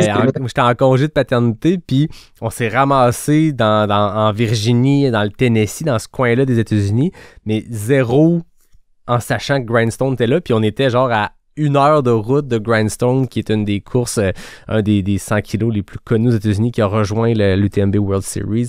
Fait qu'on s'est, on failli se croiser là. Euh, Ben oui. qu'est-ce, que, qu'est-ce qui a fait euh, que tu as choisi cette course-là? Ben ouais, en fait, euh, ça c'était un peu suite à, à ma à mon DNF à, à la TDS. J'étais vraiment déçu un peu de d'abandonner finalement puis de de pas être allé jusqu'au bout. Puis j'avais déjà dans la mire un peu Grindstone, mais je trouvais que c'était un, peu too much avec la TDS. Mais là, le fait que j'ai abandonné à 100 kilos, c'était un peu C'était très, très ambitieux, mais je me suis dit, il y a trois semaines, je peux récupérer, utiliser tout l'entraînement que j'ai fait pour la TDS, qui est vraiment pas tant spécifique pour Grindstone, mais bon, je vais m'essayer. C'est une Golden Ticket Race. J'aime ça toujours aller m'essayer d'aller rechercher un Golden Ticket. Fait que j'ai, j'ai pris ma chance, puis euh, en plus, euh, ma copine Déborah, elle avait des vacances, fait que je suis comme, that's it, on va monter en Virginie, on va essayer la course, mais finalement, ça, j'ai réussi à faire la course, mais je trouve que j'étais pas vraiment en bonne shape pour euh, performer. Euh, j'ai j'ai tout donné, mais c'était pas suffisant cette, cette journée-là. Puis c'était une journée terrible encore une fois. La TDS, j'avais eu des conditions euh, hivernales, en fait, une tempête de neige sur l'école. Il faisait froid. Puis euh, pour Grindstone, c'était de la pluie. euh, je pense qu'il faisait 8 degrés, très, très venteux. C'était comme un restant d'ouragan qu'il y avait. Fait que euh, j'ai vraiment pas été chanceux avec les météos. Puis je, performe pas bien dans ce genre de, météo-là. Moi, je suis quand même euh, frileux. Fait que je déteste ce genre de conditions-là. Ouais, fait que non, c'était un peu ça l'idée d'a- d'aller faire Grindstone, c'était juste de me, me redonner une chance. J'avais pas besoin de prendre l'avion, je pouvais m'y rendre en, en auto. Ouais. Je peux jouer le tout pour le tout. Néanmoins, une 11e place sur une course du TMB World Series, c'est c'est pas si pire pour finir la saison. Non, puis tu sais, le temps il était quand même bon. Je pense juste que, on, en tout cas, je parle pour moi, je me suis vraiment euh, fait surprendre par le niveau qu'il y avait. Sais, je savais que c'était un Golden Ticket Race, mais j'avais l'impression que personne n'en parlait. Puis Là, j'étais comme, ah, peut-être que le field sera pas tant, tant fou pour cette course-là. Puis finalement, il y avait plein de locaux qui étaient super forts, super entraînés sur le Qui parcours. connaissent Puis, le territoire, qui connaissent ce type de Ouais. sentier-là. Je suis allé, je me rappelle pas si c'était un peu avant ou après la course, l'itinéraire fitait quasiment avec la course, mais pas tout à fait. Je suis allé m'amuser sur ces sentiers-là, puis Ouais. c'est costaud les sentiers de l'Appalachian Trail, là. Ouais, ouais. Ben, il y a quelques sections, je te dirais plus vers la fin, mais tu sais, on connecte beaucoup avec des chemins d'accès. OK, avec... Puis justement, en revenant de la TDS, moi, j'avais pas. J'avais juste fait du D, là. J'avais pas fait Ouais. de route. Euh, ouais, je sentais vraiment qu'il me manquait. euh, euh, il me manquait de vitesse puis de turnover quand même. puis la nutrition sur la fin de course passait vraiment plus. Fait que ça a été vraiment difficile de terminer. J'ai terminé en prenant à peine de calories. Puis quand j'étais arrivé, je me souviens, j'ai j'ai vomi ma vie. Ah ouais. Ouais, ça, pendant un bon 10 minutes, euh, je filais vraiment pas bien. Mais ça, ça a vite passé, mais c'était le fait que justement, il faisait froid, j'ai pas réussi à m'alimenter comme je voulais. Fait que, tu sais, clairement, euh, j'a- j'avais pas les ressources pour euh, pousser, pour être vraiment compétitif dans, dans la tête de course. hein. Ouais. Ouais. On est là pour parler de Gorge Waterfalls, puis on dirait qu'on n'a Yeah. pas encore parlé. On va se prendre une petite minute de pause pour un message d'un partenaire, puis on s'en parle de l'autre côté de ta première course de 2024. En fait, non, ta deuxième course de 2024, mais Ouais. grosse performance en Oregon, donc on se parle de l'autre côté. C'est la minute de la coach avec Natacha Gagnon. On a reçu une super question sur les étirements. Comment qu'on fait ça? Quand qu'on fait ça? Après le sport? Explique-nous ça. En fait, là, ce que la science nous dit actuellement, c'est qu'on doit s'étirer à peu près deux heures après l'effort. Ça peut être trois, quatre. Là. Je pense qu'après la douche, c'est un bon moment pour pouvoir faire ça. Le premier muscle à étirer, qui est un muscle qu'on utilise beaucoup quand on court, c'est le quadriceps. Fait qu'on a toute l'image de ramener notre cheville en arrière de notre fesse pour étirer le muscle de notre avant-cuisse. Le deuxième muscle à étirer, c'est le fléchisseur de la hanche. Ça, c'est vraiment, en fait, ce sont un groupe de muscles qui sont situés à l'intérieur de notre bassin. Ce qu'on fait pour euh, étirer ça, on dépose un genou au sol, l'autre jambe bien en avant. J'appelle ça mon mouvement d'escrime modifié, si vous voulez vous faire une image. Troisième muscle à étirer, l'ischio-jambier, donc en arrière de votre cuisse, derrière votre cuisse. Donc, vous déposez le talon sur une surface surélevée, vous amenez les orteils vers vous, ce qui va faire un petit étirement du mollet qui est suffisant, pas besoin d'en faire plus, et on penche notre corps vers l'avant. Chaque étirement, on maintient de 30 secondes à 3 minutes. On peut se réajuster à toutes les 15 secondes pour avoir une sensation de 3 à 4 sur 10. Merci beaucoup, Natacha, c'était très clair. Bienvenue!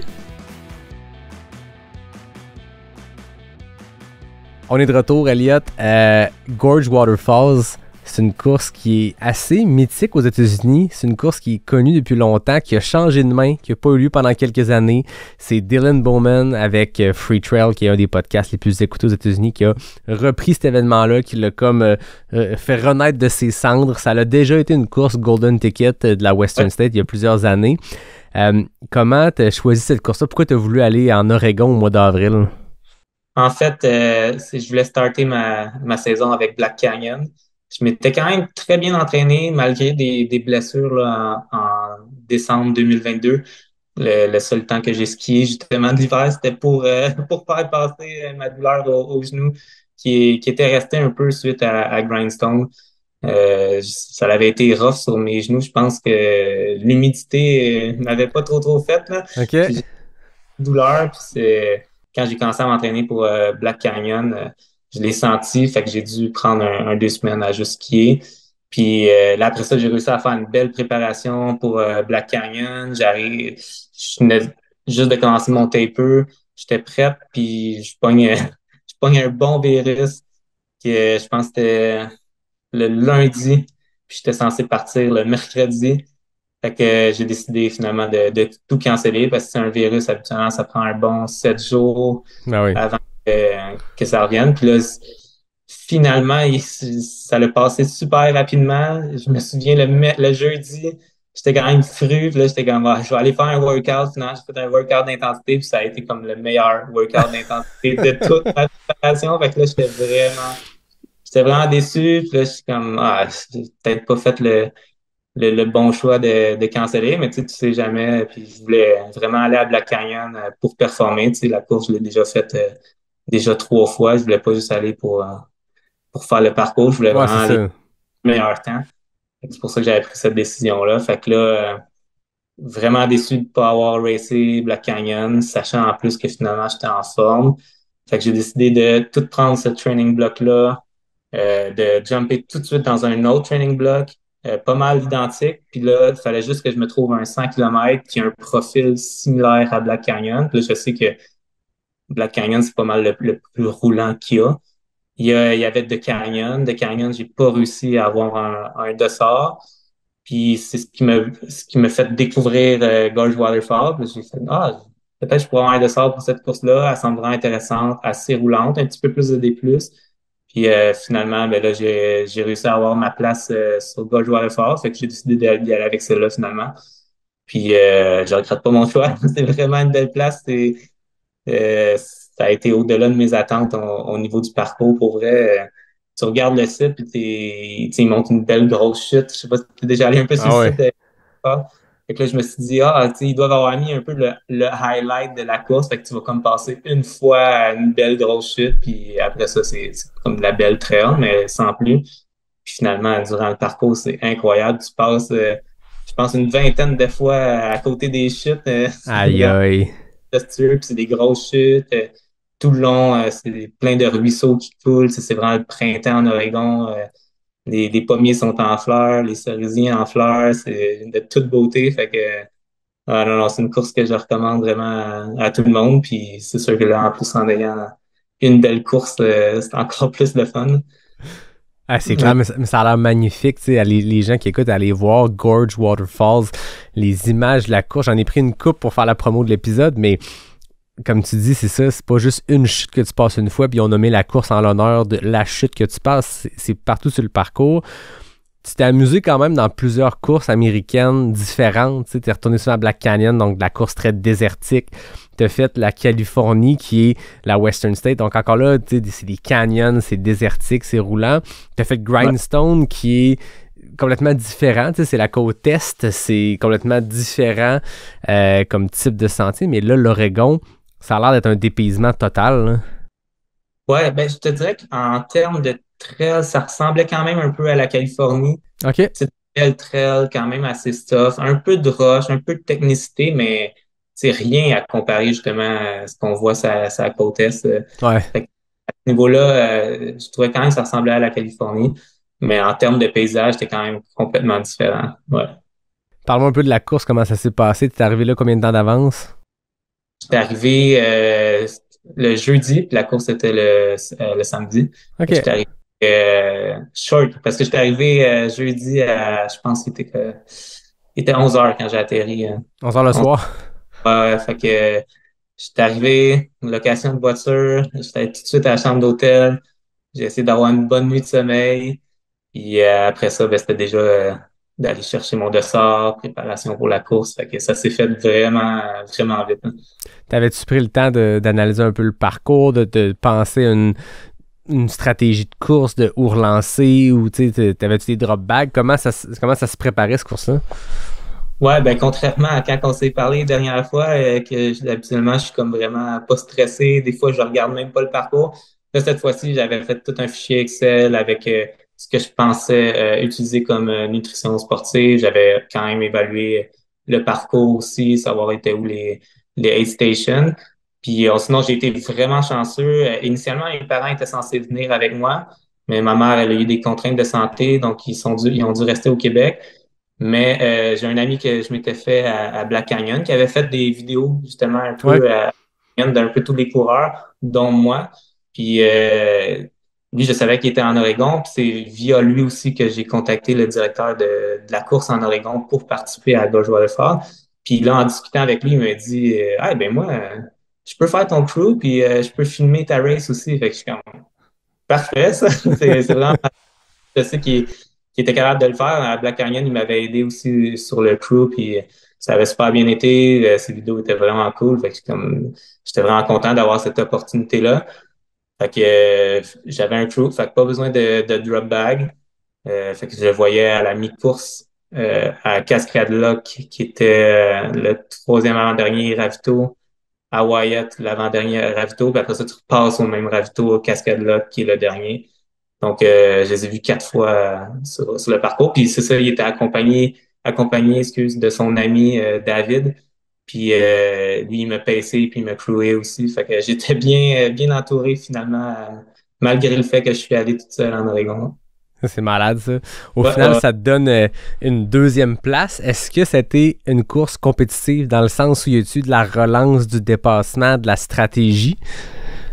Euh, ouais, ben moi, la stratégie, j'en fais pas énormément parce que je me, je me fie tout le temps à mes propres sensations. J'essaie de pas trop de regarder ce qui se passe dans la course avant la mi-course, je te dirais.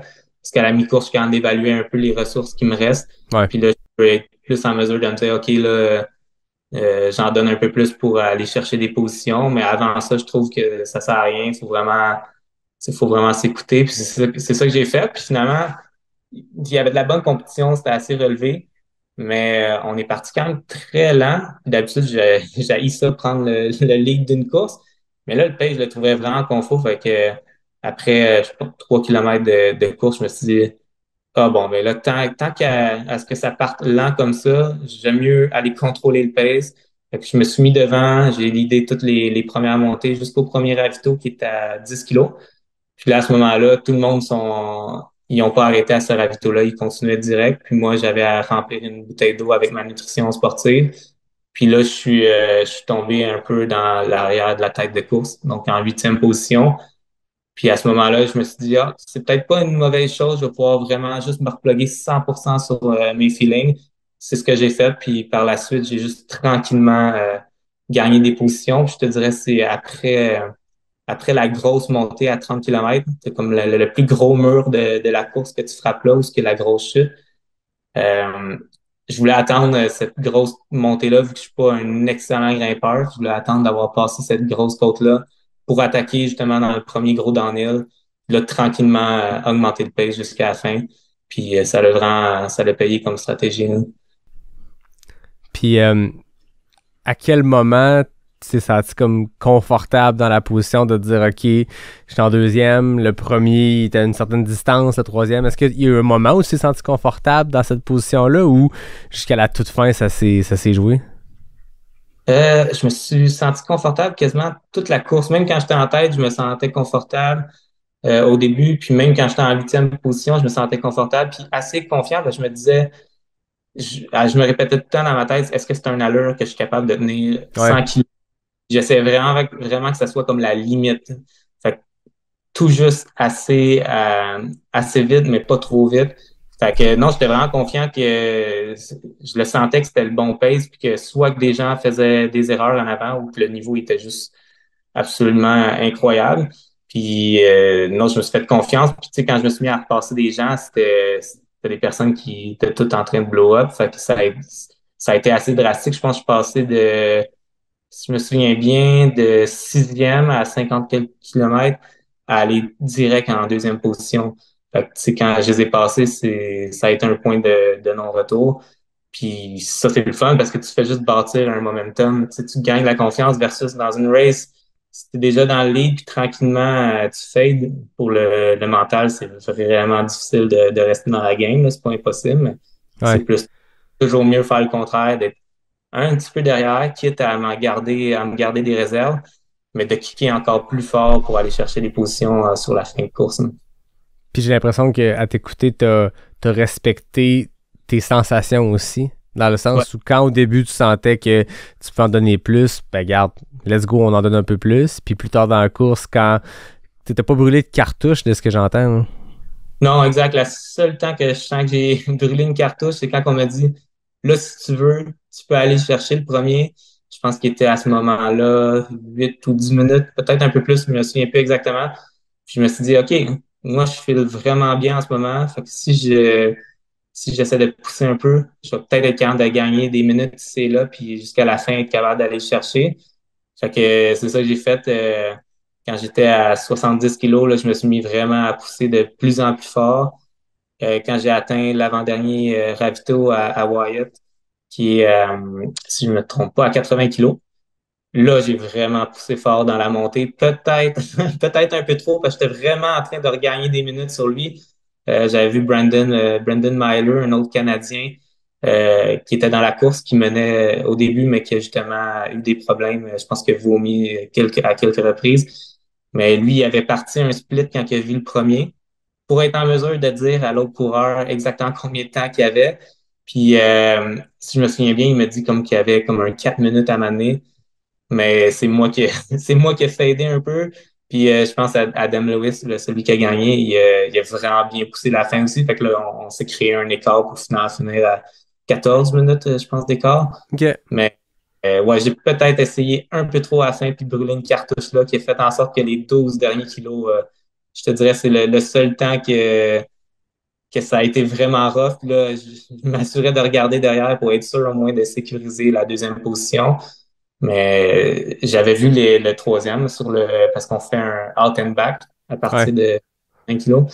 Puis je l'avais vu le troisième, puis ça me semblait, il me semblait vraiment pas si loin que ça. Fait que ça m'a vraiment fait peur. Fait que j'ai, j'ai continué quand même de pousser euh, jusqu'à la fin là, de peur de, de me faire euh, prendre ma deuxième position. Mais finalement, je pense que j'avais un, bon gap. Euh, j'aurais pu un peu relaxer, mais c'est bon de, pousser jusqu'à la fin après une, TDS qui a été difficile, tu le racontais, après Grindstone qui a pas été parfaitement comme tu voulais, après Black Canyon qui t'a pas pu prendre le départ à cause du virus, euh, comment tu t'es senti quand tu as traversé la ligne d'arrivée en deuxième place à une performance qui, en tout cas, j'ai l'impression qu'elle est à la hauteur de tes ambitions?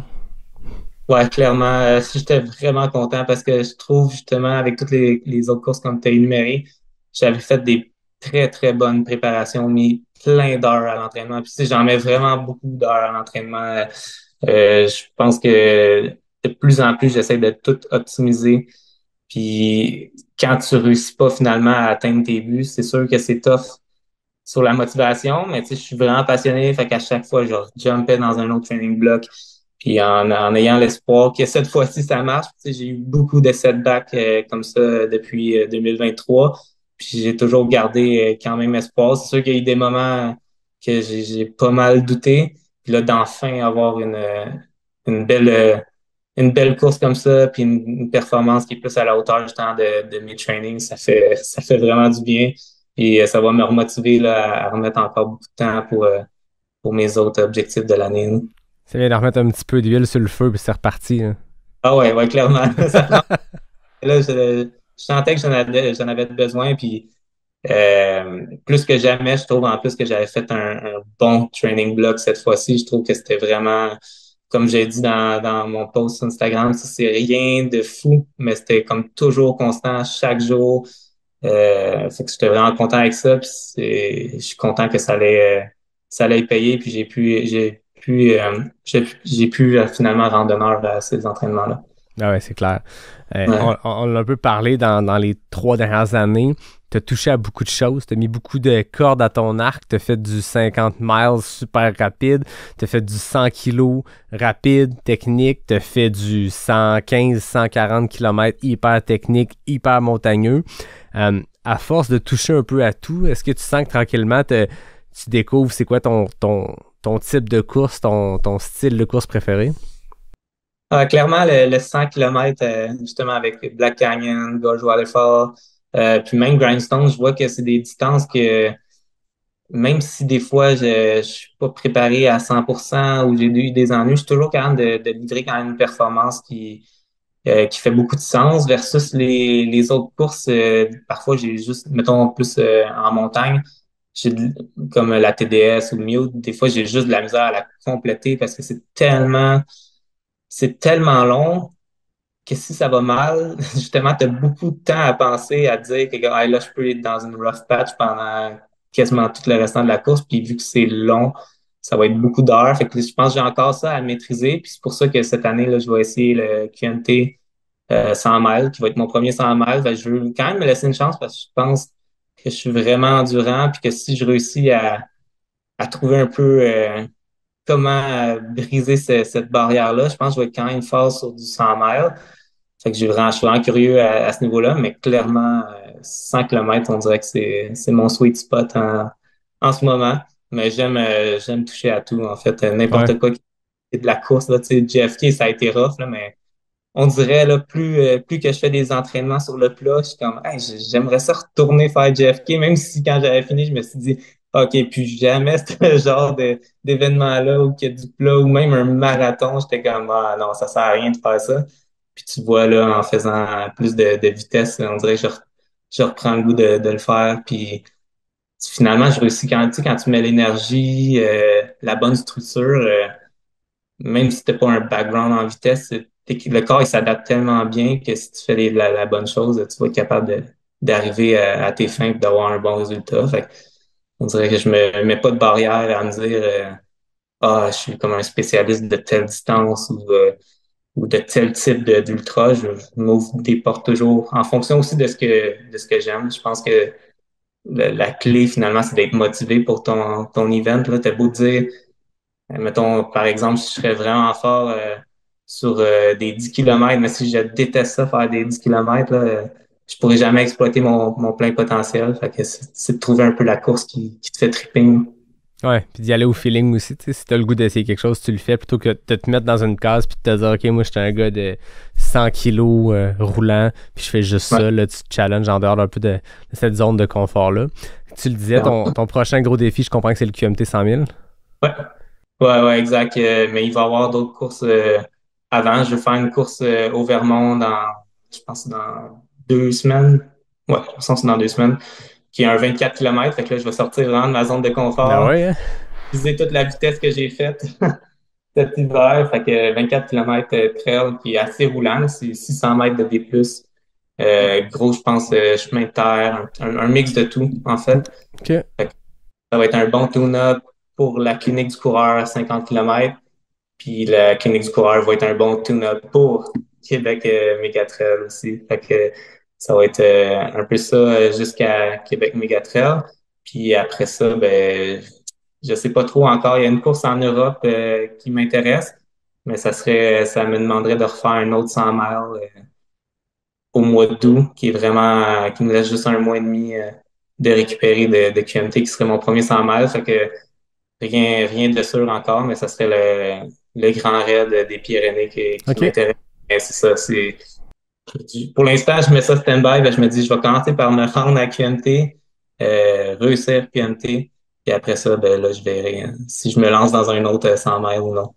Grand Raid des Pyrénées qui a un peu été euh, nommé, identifié comme l'espèce de remplacement, ou en tout cas l'alternative pour les athlètes qui veulent un peu envoyer un message à l'UTMB. Ça a été ciblé par la Pro Trail Runner Association comme la course du mois d'août. Euh, je pense qu'il va y avoir un bon niveau de compétition. Puis ça, c'est un événement qui, qui je- ça, ça fait longtemps que ça a eu lieu en France, que c'est, devenu une institution. Un peu moins connu peut-être que des UTMB ou des grands raids de la Réunion, mais ça a l'air magnifique. là. C'est un 100 000, je pense, 170 kilos, 10 000 mètres, euh, Ouais. le, le classique euh, course alpine. là. Ah ouais, vraiment. C'est, costaud. Puis c'est pour ça que je veux y réfléchir comme faut, parce que je veux pas, euh, je veux pas refaire les mêmes erreurs que j'ai faites en 2023, de comme juste euh, de quelque qui m'intéresse. euh, je dis oui sans vraiment regarder si ça fait bien dans, dans le programme. Là, je veux que ça soit quand même euh, structuré. Fait que euh, à ce niveau-là, c'est c'est encore en réflexion, mais ouais, ça serait une très, très belle course. Puis l'idée un peu derrière ça, c'est que initialement, j'étais censé faire Black Canyon, qui fait partie de la World Trail Major. Ouais. J'avais comme plan aussi de faire QMT. Fait que ça, c'était déjà tout planifié. C'était ça que je voulais faire. Je voulais avoir deux courses, puis euh, en espérant avoir deux bons résultats pour euh, faire partie du, du ranking.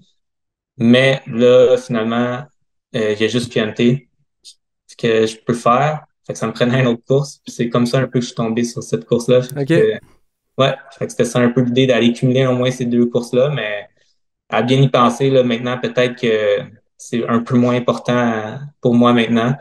Mais euh, c'est ça, ça va être à réfléchir. hein. Sinon, si tu veux faire deux courses de la World Trail, t'as Cape Town qui est 3-4 mois après, le Grand Raid des Pyrénées, un peu plus loin, mais ça demeure que des fois il y a une belle distance aussi avec, euh, avec QMT, mais ah, c'est cool. C'est cool que tu en ligne ces courses-là. Ouais, ouais, ben clairement, Ultra Trail Cape Town, ça pourrait être euh, intéressant parce que celle-là, je pourrais vraiment me dire, OK, je finis QMT 100 miles, je récupère comme il faut, puis là, je restart un, un vrai training block. Euh, c'est sûr que, à bien y penser, ça pourrait être, euh, ça pourrait être très bien euh, comme course. hein. T'écouteras l'épisode avec Marianne puis Anne ensemble, sont revenus les deux enchantés de, de Cape Town. Un peu comme les Québécois à qui j'ai parlé euh, post-mute qui sont comme sous le charme de, de Madère. J'ai l'impression que Ah ouais. l'Afrique du Sud, ça a l'air euh, magnifique. Là. Ouais, ouais, ça a l'air très beau, puis ça a l'air d'être une très belle, très belle course, bien organisée aussi. Là, fait que, ouais, à un moment donné, qu'il y, a- il y a trop de choix. Ah, c'est ça, c'est un, beau problème. Ouais, ouais, exact. Tu peux euh, toujours euh, euh, rallier justement à la course puis l'exploration. Ça, c'est ça que j'aime. Fait que souvent, des fois, je vois même, euh, au lieu de sélectionner une course, je sélectionne un endroit. Ouais. Euh, avec l'endroit, mais je regarde s'il y a une course, puis je sélectionne le bon timing pour y aller. Ah, c'est malade. C'est c'est ça la beauté Ouais. de notre sport aussi, c'est qu'on peut découvrir, découvrir des endroits dans le monde qui sont, euh, qui sont exceptionnels. Puis c'est- des fois, c'est des courses qui te font découvrir l'endroit ou c'est l'endroit qui te fait découvrir des courses. Mais la course permet d'aller explorer des, des zones des fois qui sont plus difficiles à atteindre en solo, en mode euh, course euh, pour le fun, parce que justement, euh, la course permet de joindre un ravito à un autre, puis se rendre loin, loin de- dans la brousse, puis loin des grands centres, puis découvrir des ouais. panoramas qui sont uniques. Là. Ouais, puis souvent aussi, c'est comme ça l'offre un cadre sécuritaire aussi. Tu Ouais. ne pas traverser des, des îles que, que justement, il n'y a pas de, pas de civilisation ou euh, à peine. là. ça peut commencer à être euh, beaucoup de logistique, puis ça peut être un peu plus dangereux, mais dans justement, c'est un peu l'intérêt d'aller d'aller faire une course, là. C'est que de pouvoir le faire dans un cadre sécuritaire, euh, que tu veux aller dans la performance ou non, juste la traverser puis savoir que tu as un ravito puis Ouais. que euh, c'est quand même très, très le fun. là. Ah, c'est clair. Elliot, l'entrevue, l'épisode tire à sa fin, mais j'ai remarqué que la deuxième fois que je t'ai reçu au podcast, j'avais pas fait les questions ouvertes NAC. Fait que tu le sais, la première fois que tu es venu, il y a des questions éclairs, faut répondre rapidement. Puis Ouais. d'habitude, la deuxième fois que quelqu'un vient sur le podcast, c'est les questions ouvertes. Puis je pense que quand tu étais venu, tu étais le premier invité à venir une deuxième fois. J'avais pas encore mis ça en place. Fait qu'il n'y a pas de compétition, mais c'est 10 questions courtes que tu réponds ce qui te tente. Il n'y a pas de chrono, c'est que pour le plaisir. Parfait, T'es-tu prêt? je suis prêt. Tes espadrilles préférées? Les Norda 001. 01, tu stick avec le- le- l'original? Yes, c'est mon, euh, mon go-to. Je trouve qu'avec euh, ces choses-là, je peux vraiment aller dans tout type de, de terrain là, sans avoir aucune contrainte. Fait que c'est, c'est sûr qu'il y en a, mettons, comme 002 dans le plus technique, je vais le préférer, mais le 001, il va toujours faire la job, peu importe. Ouais, c'est une chose polyvalente. Exact. Ton repas d'avant-course? Des sushis. Ah ouais, tout le temps, sushi? Ah ouais. Ouais, quand, quand j'ai accès à des, des sushis, sinon je suis vraiment pas euh, difficile, tu sais, je vais, je vais prendre ce qu'il y a, mais je trouve les sushis, c'est parfait, là. C'est du bon riz blanc, des bons carbs, puis euh, c'est facile, tu peux avoir ta source de protéines, soit avec le, le poisson, ou sinon juste, euh, je trouve sushi, avocat, ça passe super bien. Même en course, ça, ça se digère bien. Fait que, ouais, clairement, sushi. Très fort. Ton repas d'après-course? D'après-course.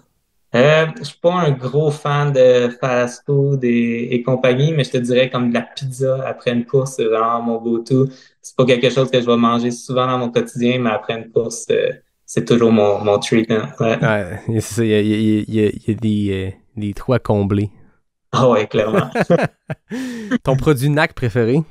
Yes, le produit NAC, c'est le Drink Mix. Ouais, Drink Mix, lequel Ouais. des deux, ton préféré? Je te dirais avant, c'était melon d'eau.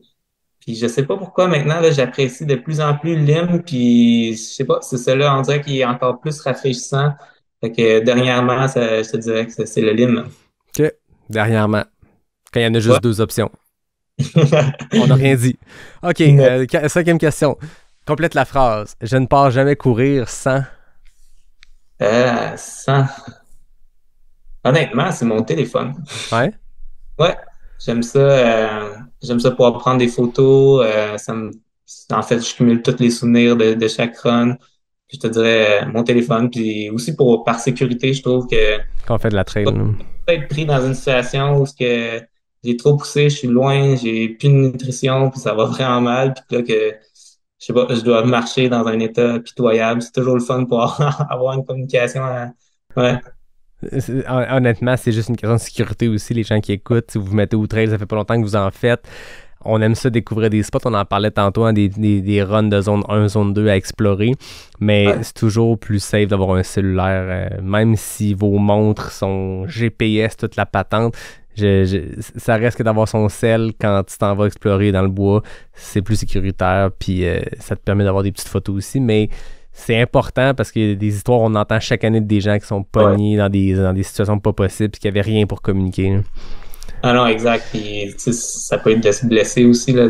Ah oui. ça- là, si t'as pas amené ton sel, juste une bonne fouleur, puis t'aimes ça que quelqu'un puisse venir te, te ramasser, au moins, euh, faire un petit bout de chemin avec toi, là. Ah, c'est ça, t'es à 6 t'es à 6-7 kilos de ton char.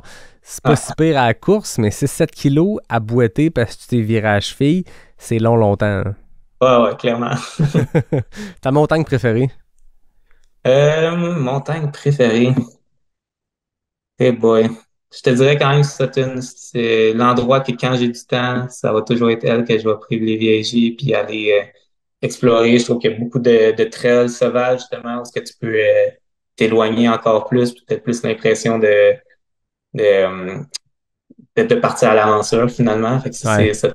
Dans le coin. Mais sinon, il y a d'autres montagnes ailleurs dans le monde aussi que, qui pourraient facilement être mes montagnes préférées, mais c'est juste qu'ils sont pas accessibles euh, day to day. C'est clair. Ton sentier préféré? Sentier préféré? Euh, je pense que ça va rester encore euh, village euh, Run Top à Sutton, justement. Ça part du IGA. Je sais pas si tu l'as déjà fait. ça part de la ville. Euh, tu commences, c'est à peine technique, super roulant, mais ça longe un ruisseau avec plein de cascades tout le long. Pour tranquillement, euh, plus ça va, plus ça devient steep, technique jusqu'au run top. Fait que je trouve que tu as un beau mix euh, qui fait qu'être pro- progressif finalement. Fait que c'est vraiment le fun comme run. Puis c'est un bon euh, 15 km, fait que c'est toujours intéressant. Avec beaucoup de diversité, toujours le fun, ça. Exact, ouais. Ton idole de course? Idole de course. Rémi Leroux. Pour vrai? je niaise, mais c'est une question que je voulais poser puis j'ai pas eu l'occasion, mais ça entraîne beaucoup avec Rémi, tu le vois progresser, je me disais c'est le meilleur moment d'y lancer ça. Moi, c'est mon idole, Rémi, c'est malade ce qu'il est en train de faire. Genre, ce qu'il vient de faire sur demi-marathon sur 10 kilos, c'est complètement débile. Ouais, ben, les résultats, oui, en, en plus, mais je trouve comme dans son approche de tout son entraînement, euh, vraiment méticuleux, apprend à bien faire les choses, mais en même temps, il se prend tellement pas la tête non plus. Ouais. Clairement, Rémi, il, m'inspire beaucoup, puis c'est le fun en plus de, de pouvoir m'entraîner euh, euh, chaque jour avec, de partager de l'intensité, euh, des kilomètres comme ça, des courses même avec. Donc, euh, ouais, clairement, avant, c'était comme plus client de journée pour tout ce qui a accompli dans le sport, puis aussi un peu son côté environnemental, très implice de, l'entraînement, comme lui aussi, il, il part faire des folies en montagne, puis il y a l'aspect plaisir derrière ça. Mais ouais, dernièrement, je te dirais Rémi. je t'ai mis les mots dans la bouche, mais c'est un beau combo Kylian et Rémi. C'est quand même, c'est pas gênant pour euh, Rémi non plus d'être, d'être aux côtés euh, de Monsieur Journet. Non, clairement pas. il a fait un justement euh, en Europe l'été dernier, que justement, il y a un temps très très proche de Kylian Jornet. Ah ouais? Le VK, ouais, ouais, c'est le VK du Mont Blanc. Ah ouais, ok. Je pense qu'il y a une histoire un peu comme le parcours était pas pas pareil ou c'était pas la même façon mais de, le faire comme avec les départs, mais quand même. pas gênant. Pas gênant en tout. Ta plus grande fierté? Plus grande fierté. Hmm. Je pense que ça va rester euh, Black Canyon, ma huitième position. Je trouve souvent les gens ils vont voir vite, euh, ils vont voir le résultat comme ça, huitième, ah, tu, tu dois être déçu ou euh, mais en même temps, quand tu regardes le niveau justement de cette course-là, le temps que, que j'ai fait avec cette huitième position-là, euh, je trouve que c'est vraiment solide. c'est c'est une course que j'ai été super fier. Donc euh, ouais, puis j'aimerais ça justement retourner à Black Canyon puis à faire encore mieux. C'était le cette année de briser euh, la fameuse euh, barrière du 8 heures. Fait que ça quelque chose que je vais vouloir faire. mais ouais, Black Canyon à 8h10, une grande fierté. Je comprends, je comprends. Euh, dernière question, ta course bucket list?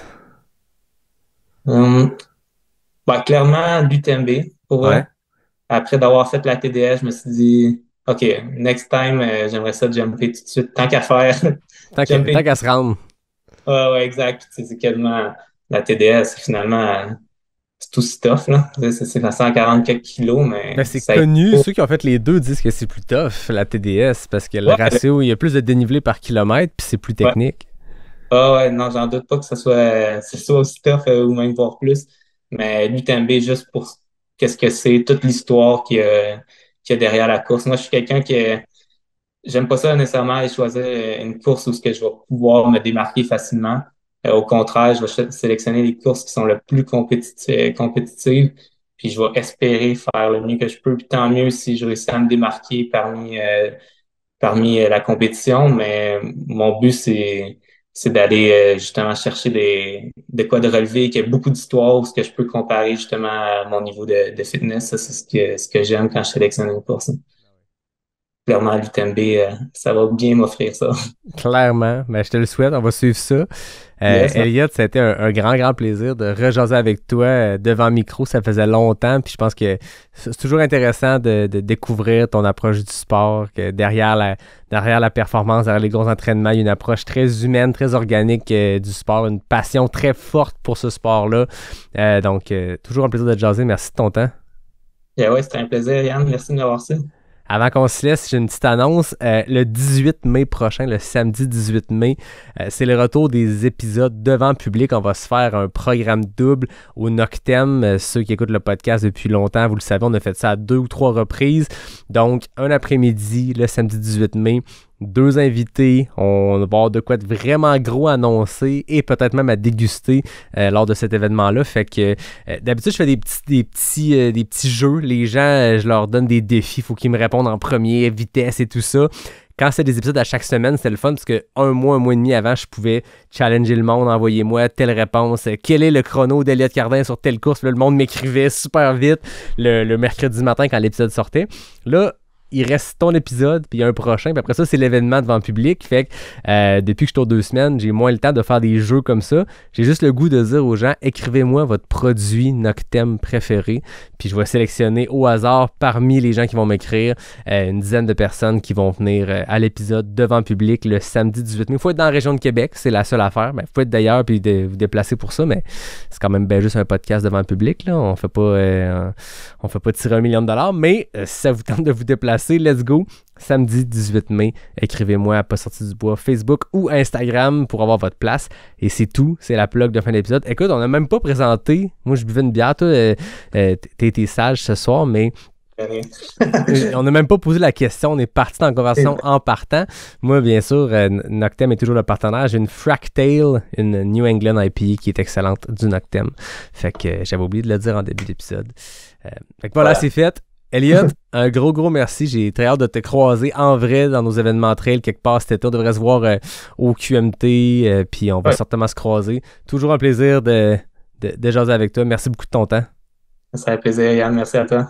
Comme d'habitude, je termine en remerciant David Debert pour le design graphique du podcast, Fred Desroches pour le thème musical, NAC qui est le partenaire principal du podcast, Noctem et Capic 1. On dirait que c'est toutes des entreprises avec lesquelles tu as un lien. Euh, Elliot, tu es avec NAC, tu es avec Capic, tu es coaché par Ray qui est le fondateur de, de Capic. Tu portes des Norda qui ont été testés, développés par Ray. Écoute, euh, tu étais fait pour revenir au podcast. Si jamais 203, fallait que ça arrive plus vite que ça. Là.